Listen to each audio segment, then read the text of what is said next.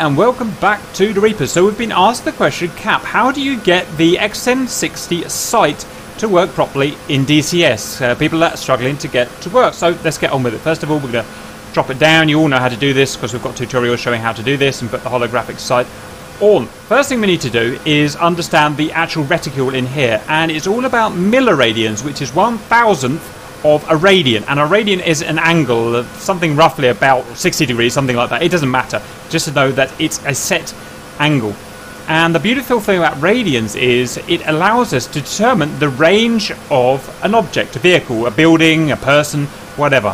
First of all, we're going to do some practice showing you how to use the sight here to range a vehicle. So there we've got a, a Mike 113 APC. If you go on Google and type in the length, it is exactly 16 feet from left to right. So first of all, to range that vehicle there, what we do is going to maneuver our helicopter. So this sight here is in the center of that vehicle. I think that's the best way of doing it. Hold to fire. Now we're going to do everything on the ground today just so that it's much more stable platform for me to use. In real life you wouldn't be using on the ground obviously, but it means I can aim down nice and slow and talk to you. So you can see there it's just popping out the side of that internal circle, okay, this one. And uh, the circle from there to there is 10 milliradians. The circle from there to there is 5 milliradians. So we can say it's just above 10 milliradians. So let's say it's 11 milliradians, this guy, okay?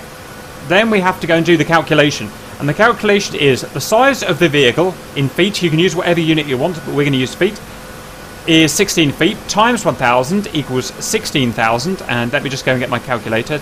Divided by 11 for 11 milliradians equals 1454 so by doing that method there I have ascertained this guy's range here of 1454 feet. And if we go on the F10 menu to check I mean the reason we would be doing this is because we didn't have the F10 menu but we do just for this example. So actually measure from me to him there. Annoyingly, it's showing it in uh, nautical miles at the top, but let's, uh, let's run with that anyway. So 0.25 nautical miles. So if I then uh, went into a converter in Google and converted that, 0.25 nautical miles is 1520 feet.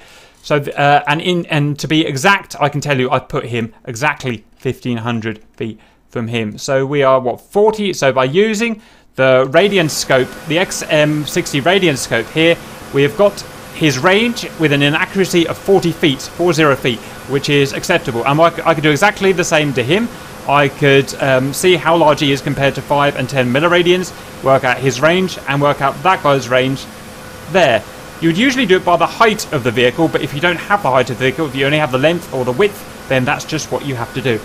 So that's the first part of using the XM60 scope for finding the range. Now we've got the range, we can use this guy here, the, the milliradian depression knob, to actually uh, allow us to hit that target at a certain range. To do that, we have to go to our ranging table. It's Sight Reflex Helicopter XM60 elevation setting. So what we first need to do is convert our range here into meters because we got them in feet.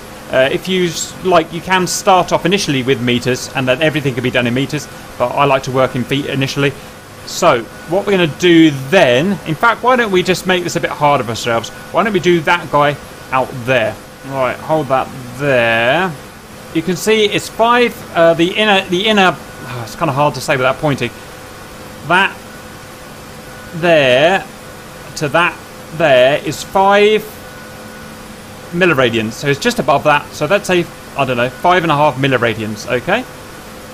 So let's get our calculator out again. Uh, calculator. So what we're going to do is say he is 16 feet times 1,000 equals 16,000 divided by 5.5 milliradians equals 2,900 feet. And what I can tell you is that in F10 here, he is actually at exactly 3,000 feet. So that was 80, uh, 91 feet out, uh, which for gunnery I think is just about acceptable, otherwise known as 0.49 nautical miles. So we've ranged that guy. Next we're going to shoot him. So we go to our table here. We're going to say that the range is uh, for this guy is 2,900 feet divided by uh, converted into meters. Sorry, so 2,909 feet into meters is 890 meters rounded up. So 890 meters, let's round up to 900, is here. What we do then is find our altitude, nap of the Earth, 1500 feet AGL or 2500 feet AGL. We're currently nap of the Earth. So if we're nap of the Earth here, then we have to interpolate this table here to where 900 meters is. And what we can work out by basic interpolation, I won't tell you how to do this, it's pretty easy to do, is that we should be looking at a elevation setting of plus 3 here, plus 3 milliradians to put onto our depression table there. If, it, if the range was exactly 1,000 meters, it would be 0. If it was 1,500 meters, it would be minus 25. If it was 2,000, it would be minus 15. If it was 500, it would be 15. So you have to interpolate between. So, next we're going to go to the elevation gauge here, and we're going to turn it up to, uh, sorry, what did I say? Uh, plus 3 milliradians. Plus 3 milliradians. And what that's done is it's moved a holographic sight up exactly 3 milliradians. And remember how big a milliradian is, we talked about it uh, there. Next, what I'm going to do is arm my guns, which are all armed. I'm now going to aim at the target with the crosshair. And I'm going to fire. And what we should see is our bullets are I mean, they're not accurate guns, obviously, but our bullets are basically going to be explode, be centered around him. Uh, the recoil of the guns knocks me back a bit, but you can see we're taking him out. Okay, so we've pretty much killed the guy there. Okay, uh, let's make it a little more harder for ourselves again. Let's go now range this guy out here and use the setup to take him out. And then after that, we're going to go and look at rockets. What I just say is this ranging table is exclusively for the guns. It's not for the rockets, but we do have a converter for the rockets. Okay, so we're going to range him.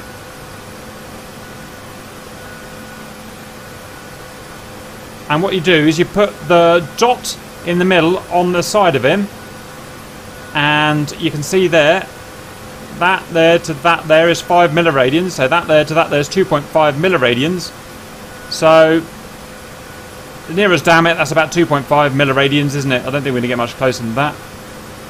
So we're going to get to the calculator. Uh, we're going to go uh, 2.5 millirad uh, sorry uh, we're going to go 16 feet times 1000 meters divided by 2.5 milliradians gives us 6400 feet the actual range I've put him is at 6,000 feet. So we are 400 feet out here, and that's just because he's at the ac real accuracy limit of this system. Uh, and he's a small vehicle. The smaller the vehicle is, the less the accuracy is. We're 400 feet out, but we'll run with it anyway, and we'll probably find it's still, uh, still accurate enough to hit.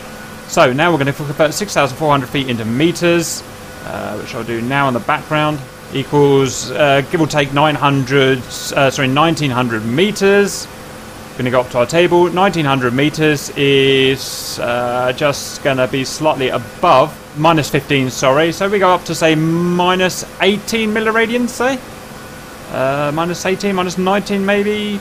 I'm just trying to interpolate in my head between them. Uh, let's try 18, minus 18 or minus 19 milliradians. Let's go. Uh, where is it? That's 0, that's minus 20, that's 15. So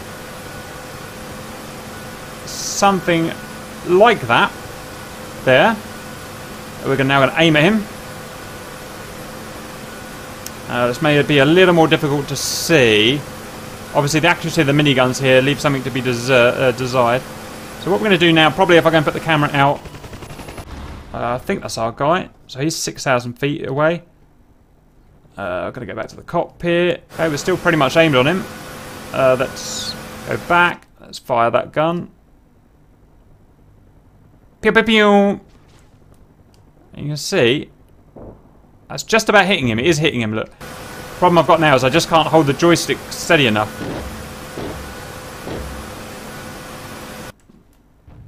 And you see I am doing damage to him now. Okay.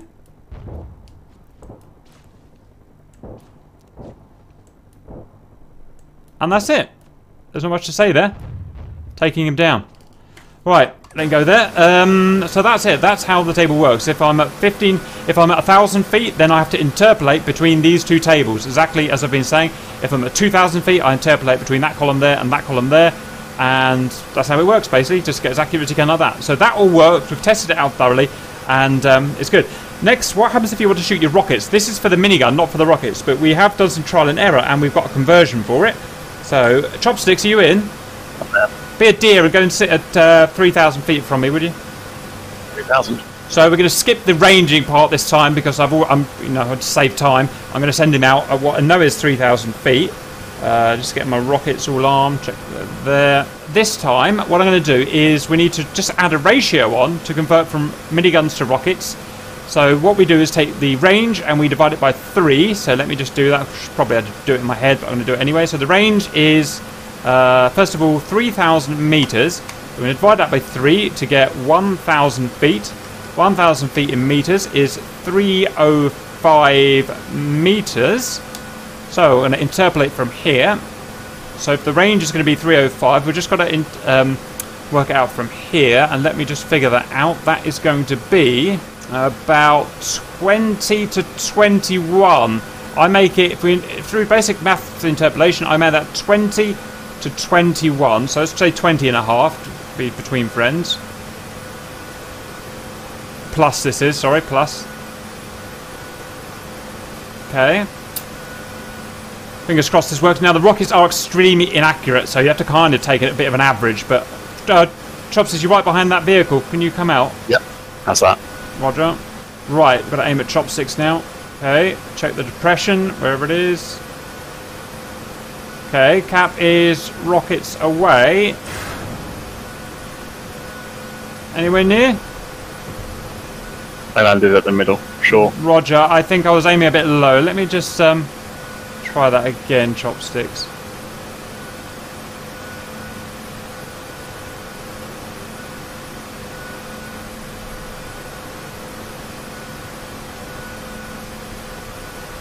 There we go, that's better. Right, coming out, so I've got to center mass this time. Firing.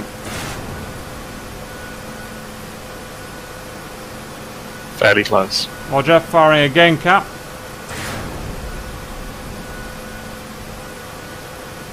I'm directly between where they both exploded, so Oh, so that's, that's that's the rocket inaccuracy. Roger. Okay, yeah, I can't go better, better center mass. So that's how we convert between um, using the guns and using the rockets like that. You can use it at moving at any speed, and you can use it at any altitude. Literally, you could technically use it at 10,000 feet and interpolate. I'm not sure how accurate it would be. Anyone want to add anything to that? Oh, uh, I should say that this guy's over here is not the same. He does not have a milliradian adjusted sight, so this thing here will not work. This is tracer only. Uh, how this works. Um, so bear that in mind. Or at least as far as we know, we're pretty sure. Yeah, there's no depression knob down here, so has to be. Um, anything you boys want to add to that? Right. Um, that took all day to work out, but we got there in the end. I hope you enjoyed that, and see you later.